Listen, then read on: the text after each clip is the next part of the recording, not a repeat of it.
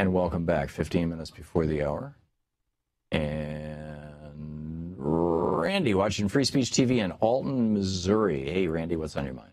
Hi, Thom. It's been a while since I called, but um, I'm going to just make my statement and then I'm going to hang up so I can listen to your comment. Okay. Um, I'm a lifelong gun enthusiast, gun collector, Mm-hmm.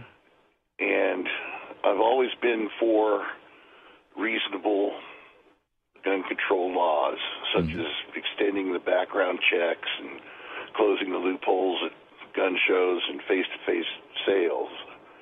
But I've always been a little bit leery of the, an assault weapons ban because I never thought it would do much good. And with all the assault type rifles that are out there, I don't see how it can be enforced. We had it for 10 years, and there was yeah, there was a here's, there was a decrease in the number of those. Orlando, Changed my mind. I believe we should outlaw AR-15s, AK-47s, and all the military type weapons.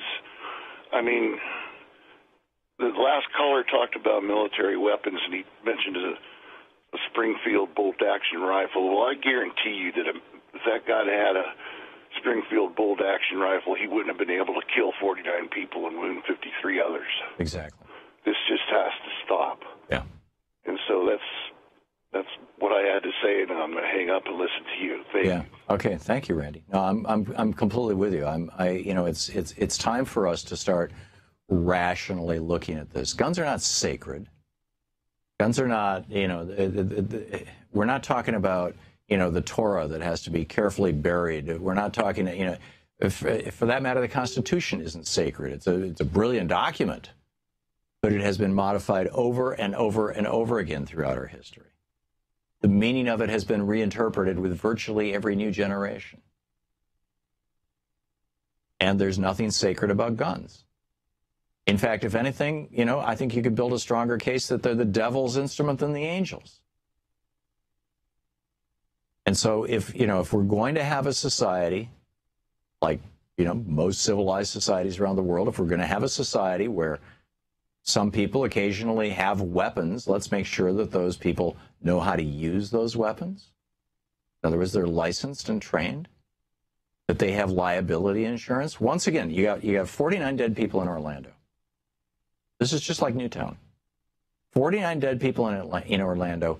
If they had been killed by some guy driving his car into a crowd to kill them, Geico would be paying out million dollar liability insurance policies right now.